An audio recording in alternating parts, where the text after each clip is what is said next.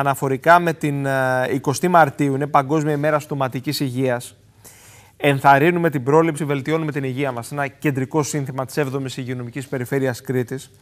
Μία ξεχωριστή δράση, Σάββατο 19 και Κυριακή 20, από τις 9 το πρωί έως και τις 4 το μεσημέρι, θα πραγματοποιηθεί σε όλα τα οδοντιατρικά ιατρία των νοσοκομείων της Κρήτης και στις τέσσερις περιφερειακές ενότητες ένας προληπτικός έλεγχος και φθορίωση σε παιδιά με αναπηρία, νοητική στέρηση και αυτισμό.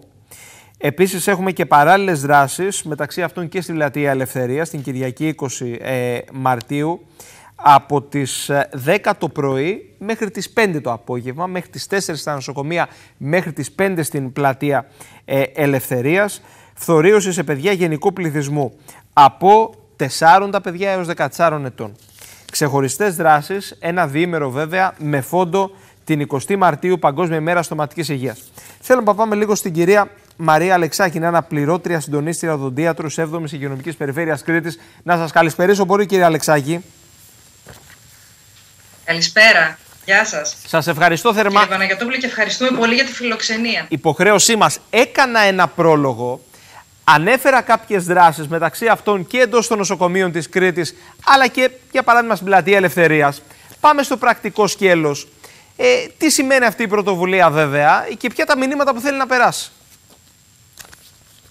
Ε, κοιτάξτε, ε, αυτή η δράση Παγκόσμια ημέρα στοματικής υγείας ε, είναι μια δράση η οποία γίνεται σε όλο τον κόσμο, γιορτάζεται κάθε χρόνο στις 20 Μαρτίου. Στα πλαίσια λοιπόν αυτής της ημέρας, ε, στο στέλνο των δράσεων αγωγής υγείας της 7ης Υγειονομικής Περιφέρειας Κρήτης, θα γίνουν κάποιες δράσεις ευαισθητοποίησης και πρόληψης του πληθυσμού σε σχέση με τη στοματική υγεία. Το επίκεντρο βέβαια είναι ε, τα παιδιά, γιατί από εκεί ξεκινάνε όλες οι δράσεις πρόληψης και τα άτομα με αναπηρία, ε, τον... Και θα προσπαθήσουμε σε αυτή την ημέρα και με αφορμή αυτή την ημέρα να ευαισθητοποιήσουμε και τους συνοδούς και τους φροντιστές των ατόμων με αναπηρία σε σχέση με την ε, πρόληψη της στοματικής τους υγείας. Γιατί αυτό είναι ένας βασικός παράγοντας της ποιότητας ζωής τους. Μάλιστα. Ε, α, ε, υποθέτω, είμαι σίγουρος ότι από τα πρώτα χρόνια της ζωής ενός παιδιού οι γονείς θα πρέπει να πάρουν σοβαρά τη στοματική υγεία του παιδιού τους. Σωστά.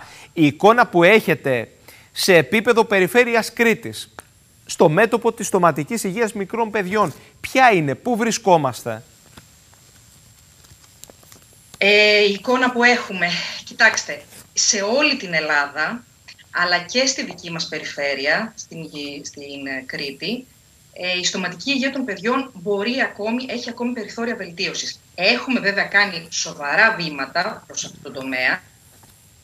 Έχουμε μείωση στους δείκτες τεριδόνας των παιδιών. Έχουμε δει μια μεγαλύτερη ευαισθησία και ενημέρωση και των γονιών. Ακόμη πολλά πράγματα τα οποία θα πρέπει να δώσουμε βάση. Δηλαδή έχουμε ακόμη ε, πολλά, πολλές οικογένειες που δεν γνωρίζουν ότι θα πρέπει να ξεκινάμε ας πούμε, το βούρτσισμα των δοντιών του παιδιού με την εμφάνιση του πρώτου δοντιού στο στόμα, ε, που δεν ξέρουν ε, την ευεργετική δράση του φθορείου, των φθοριούχων οδοντοκρεμών, αλλά και των επισκέψεων στον οδοντίατρο για φθορίωση.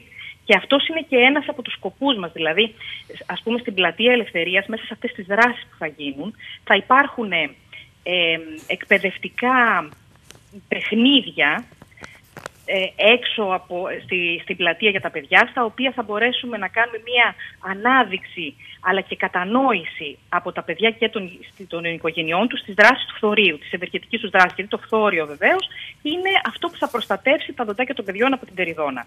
Επίσης, θα σας πω ότι αυτά τα προβλήματα που θα ξεκινήσουν στην παιδική ηλικία των παιδιών θα ακολουθούν και σε όλη την υπόλοιπη ζωή τους. Οπότε καταλαβαίνετε είναι πάρα πολύ σημαντικό να έχουμε μία ε, σωστή αντιμετώπιση από την αρχή της ζωής του παιδιού. Εκεί, εκεί θέτονται οι βάσεις.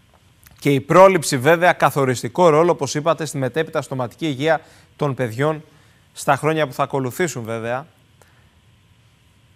Ναι, ναι, είναι πάρα πολύ σημαντική. Ε, έχουμε δει ότι η τεριδόνες ας πούμε, των, των παιδικών δοντιών και η κατάσταση αυτή των παιδικών δοντιών ακολουθεί το παιδί σε όλη την υπόλοιπη ζωή του. Μάλιστα. Οπότε θα πρέπει εκεί να εστιάσουμε. Οπότε συνοψίζοντας, το ερχόμενο Σαββατοκύριακο από τις 9 έως και τις 4 σε νοσοκομεία της Κρήτης, σωστά κυρία Αλεξάκη; Σωστά, ναι, ναι, ναι. ναι. Σε οδοντιατρικά θέλετε, ιατρία, βέβαια πείτε μας, πείτε μας. Αν θέλετε να αναφέρω μόνο ότι ας πούμε στο ε, Βενιζέλιο νοσοκομείο στο Ηράκλειο, στη, στο Γενικό Νοσοκομείο Σιτίας, Αγίου Νικολάου, Ρεθύμνου και στα Χανιά, Ναι. η δράση θα γίνει το Σάββατο, 19 Μαρτίου. Πολύ σωστά, βέβαια. Εντάξει, να το είναι αναφέρουμε. για τα άτομα με αναπηρία. Υπάρχουν κάποια τηλέφωνα επικοινωνίας, αν θέλετε να τα πω για να, να τα μπορέσουν πείτε, να- εννοείται, εννοείται. Ωραία, τα τηλέφωνα αυτά στα οποία θα μπορέσουν ε, οι συνοδοί και οι φροντιστές των ατόμων με αναπηρία να κλείσουν ραντεβού είναι το 2813 40 44 29 και 2813 40 43 30. Μάλιστα. Σε αυτά τα τηλέφωνα μπορούν να πάρουν ε, τηλέφωνο γονείς και φροντιστέ ατόμων με αναπηρία για να, δούνε, να μπορέσουν να κανονίσουν το ραντεβού τους.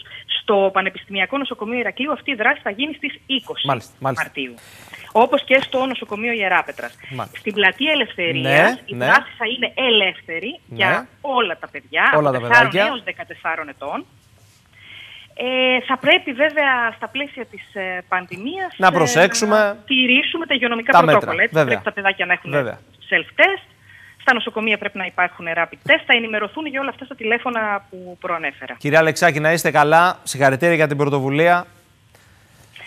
Να είστε καλά, ευχαριστούμε πολύ για τη βοήθεια και μ, που είσαστε μαζί μας και αρρωγήσατε στην προσπάθεια. Ευχαριστούμε. Να είστε καλά, υποχρέωσή μας. Λοιπόν,